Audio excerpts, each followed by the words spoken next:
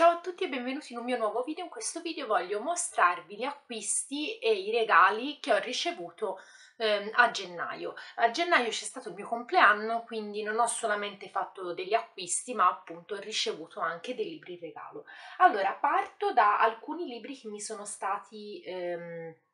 omaggiati da degli autori. Allora, il primo libro che vi mostro è Whisper di Tea Usai, è il terzo volume della saga, vi ho parlato dei primi due volumi in un vecchio wrap-up, mentre nel wrap-up di gennaio vi ho parlato di, eh, del prequel di questa saga. Eh, l'ho terminato di leggere proprio adesso, qualche minuto fa, ed è, devo dire che questo terzo libro ehm, forse mi è piaciuto più degli altri, nonostante questa comunque sia una saga che mi, sia, che mi sta piacendo, perché ancora non l'ho finita, questo mh, mm, forse è il mio preferito, come sempre ci sono un sacco di colpi di scena e eh, ve lo straconsiglio se amate i vampiri, se amate delle eh, leggende, e, mh, mm, è molto carino, un paranormal romance che si legge molto molto velocemente, io ringrazio l'autrice per avermi omaggiato anche di questa copia. Altro libro che mi è stato omaggiato dall'autrice è L'urlo della sirena eh, di Maria Enea, questo libro io l'avevo letto letto in digitale per una collaborazione con l'autrice, mi era piaciuto moltissimo sia a me che a mia madre e a mia sorella e quindi volevo acquistare la copia in cartaceo, ma eh, poi l'autrice gentilmente mi ha omaggiato anche della mh, mm, copia cartacea e è un libro che ehm, a me è piaciuto tantissimo, proprio è stato uno dei libri per quanto mi riguarda più belli non solo del 2022 ma eh, in generale tra quelli che ho letto tutto. Eh, qui si parla di guerra, eh, la protagonista della storia è una ragazzina affetta da poliomelite che abita eh, a Palermo, è una storia di cui vi ho già parlato, non mi dilungo molto perché vorrei poi fare un video apposta su questo libro e su altri, ehm, comunque è un libro che a me è piaciuto tantissimo e che assolutamente consiglio, è una lettura che secondo me può piacere a chiunque, ehm, veramente molto molto bello. Poi ehm, avevo acquistato da Alex Alexander Ackerman una box una box del suo libro ehm, e mi sono fatta mettere all'interno anche altre cose, insomma, in più è stato il mio compleanno, quindi mi ha aggiunto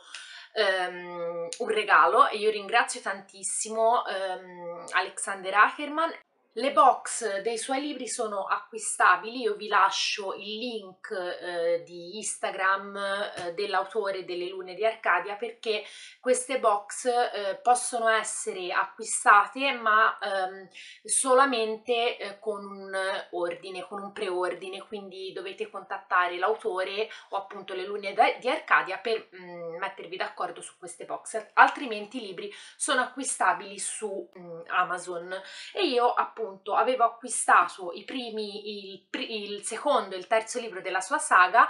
e un altro che adesso vi mostro, ma gentilmente mi ha eh, omaggiato della copia del giuramento dell'imperatore che io ho nella vecchia versione, che poi in realtà è uguale a questa, cambia solamente la copertina, quindi mi ha omaggiato di questo, di questo libro con la sua nuova copertina e io ringrazio infinitamente perché questa saga, ve l'ho detto anche nell'ultimo video, a me è piaciuta e sta piacendo tantissimo e sono contenta di avere il libro anche in questa versione. E come vi dicevo ho acquistato anche il secondo e il terzo libro della saga. Entrambi letti, entrambi amati e, e continuo a ribadire che è un autore che a me piace moltissimo e tra l'altro tutti e tre insieme secondo me stanno, stanno molto bene, sono veramente molto belli da, da vedere accanto. E, e, e, poi avevo acquistato anche eh, questo qua che è Anatemia 17 ed è una eh, raccolta di racconti horror scritto da Alexander Ackerman e anche da Rosa Davis. Ne ho sentito parlare molto bene, io eh, difficilmente mi spavento e eh, non sempre apprezzo i racconti, quindi ho voluto prendere questo e provare anche mm, a leggere questo libro e vedere come se la cava mio, uno dei miei autori preferiti anche con i racconti. Comunque anche Rosa Davis è un'attrice che adoro e niente, vi farò sapere una volta letto. Penso di iniziarlo a leggere adesso e leggere tipo un racconto a sera. Vediamo poi come andrà la lettura. Altro acquisto che ho fatto sono stati eh, due libri di ehm, Elisa Cavalli. Il primo è Lunaris, La pietra della notte, è il primo libro eh, di una saga. Avevo letto questo libro nella vecchia versione la nuova versione è diversa non solamente per la grafica ma anche proprio per i contenuti ed è per questo che ho voluto acquistarlo e ehm, appunto voglio leggere questa nuova versione che è cambiata in alcuni capitoli e che appunto è anche più bella esteticamente quindi ho voluto prendere lui e poi ho voluto acquistare anche il secondo di Midnight Roses che è Le spine della regina questo letto e amato anche questo bellissimo graficamente Devo dire che ehm, Elisa Cavalli, Alexander Ackerman, Rosa Davis, le ragazze di eh, Le Lune di Arcadia stanno facendo um, un ottimo lavoro per quanto riguarda uh, l'editing, la pubblicazione dei libri, perché non solo questi sono stati pubblicati da loro, ma anche questi qua. Quindi eh, sono dei libri molto belli sia esteticamente ma anche nei contenuti. Passando agli ultimi tre acquisti ho acquistato di Azzurra Pasquali eh, Wild Hunt Cacciatori di potere Um, ero molto attratta dai suoi libri, um, ne ho adocchiato un altro, intanto ho preso lui, ne ho sentito parlare bene anche di questo, dovrebbe essere un autoconclusivo se non sbaglio, comunque eh, vi farò sapere appena possibile, questo ancora non l'ho letto, come non ho letto i prossimi eh, libri. Allora ho acquistato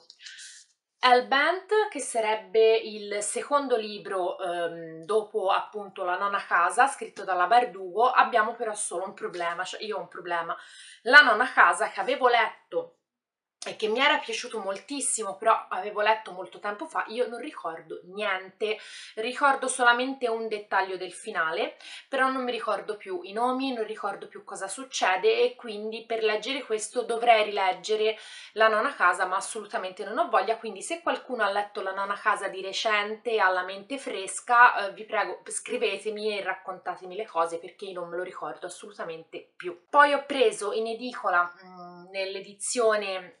della collana Storie meravigliose ho preso Cenerentola e altre storie. Questi libri, come sempre, ve lo dico sempre, sono veramente molto belli. Qua abbiamo anche Ansel e Gretel, abbiamo Il lupo e i sette capretti, comunque tanti sono conosciuti, e il Tremotino, insomma abbiamo varie, mh, varie storie molto famose, quindi ho voluto prenderlo.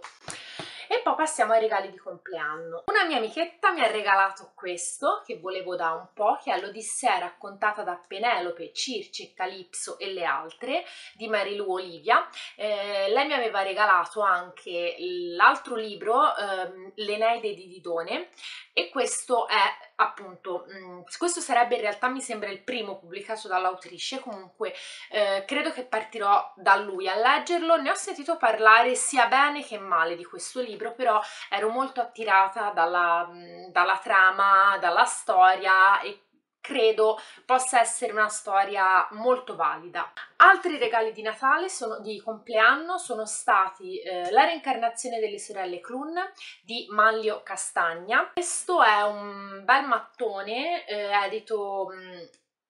Mondadori per la collana Oscar. Fabula, è un dark thriller barra horror, ne ho sentito parlare molto bene, la trama mi ispirava tantissimo e quindi eh, l'avevo messo nella lista dei miei desideri che lascio giù nell'info box e, mm, e mi è stato regalato per il mio compleanno prendendo appunto spunto da quella lista. Altro libro che volevo da tanto è L'Oceano in fondo al sentiero di Neil Gaiman, io di questo autore ho letto molti libri, mm, non tutti, però la maggior parte, questo mi mancava, non sapevo, mm, non avevo letto neanche la trama di questo libro, però quando la Oscar, eh, la Mondadori aveva fatto uscire E questo libro in questa edizione l'avevo occhiato e anche lui era stato inserito nella mia lista dei desideri, una copertina molto carina, speriamo che sia bello anche il libro, è scritto un po' piccolo però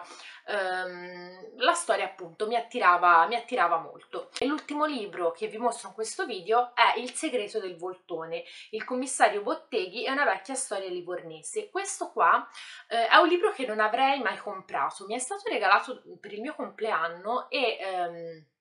la trama mi ha incuriosito tantissimo e non vedo l'ora di leggerlo. Si tratta di una serie di libri dove il protagonista è sempre questo commissario Botteghi che indaga in, a, a, Livorno, che sarebbe la mia città, e in ogni volume c'è un'indagine che segue e che credo risolva. E, e, quindi ogni libro è autoconclusivo, ma sono tutti legati da un filone che penso sia questo commissario che presente in tutti i libri. E niente mi ispira molto più che altro mi ispira molto leggere una storia che è ambientata nella mia città un giallo ambientato nella mia città dove ci sono anche varie frasi in dialetto con ehm, le varie note dove ti spiega appunto il significato di quella frase. E niente mi sembra carino e ne ho sono andata poi a leggere qualche recensione e ho letto delle recensioni molto positive, quindi sono molto molto curiosa di leggerlo. Bene, quindi questi sono stati i libri che ho acquistato, che ho ricevuto eh, nel mese di gennaio. Fatemi sapere se avete letto qualcuno di questi libri o se avete letto e ricordato la trama della nona casa. Se vi va vi invito a iscrivervi al mio canale, di commentare lasciare un like perché in questo modo mi aiutate a crescere e mi supportate. Io vi saluto e ci vediamo al prossimo video. Ciao ciao!